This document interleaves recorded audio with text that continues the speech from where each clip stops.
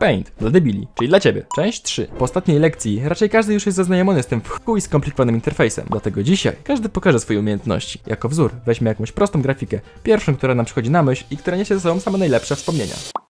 No co? Lubię tosty. Nasze referenc foto na bok i zabieramy się do roboty. Z tym, że w sumie to nie pokazałem wam jednej z najważniejszych funkcji w pańcie. No, i do tego Paint ma służyć. A wy używacie Painta do czegoś tak nieironicznie? Dajcie znać.